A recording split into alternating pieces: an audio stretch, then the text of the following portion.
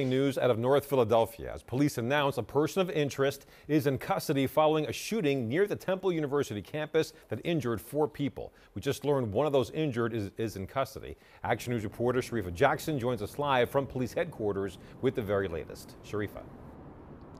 Yeah, Walter, as you said, we know that there is a person of interest right now, according to Philadelphia police, but we don't have too many details about who that person is. We know that he is 23 years old, and we also know that he is in critical condition at this time. We also know that he was shot by a security guard. Now, this is what we know all unfolded at around 3 a.m.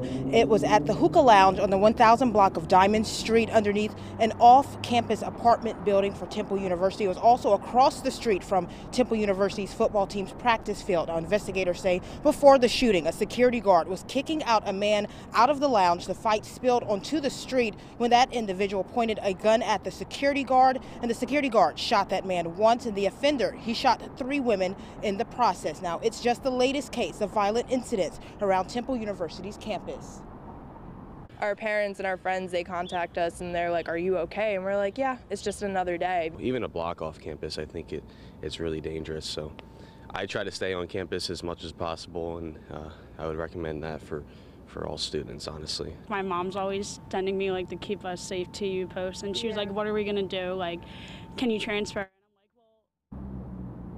and again, we know this person of interest, 23 years old, and very serious injuries at this point. The other victims, they range between 19 and 47 years old. Temple University says none of these people are students. We're live outside Philadelphia Police Headquarters, Sharifa Jackson, Channel 6, Action News. Walter. All right, Sharifa, thank you.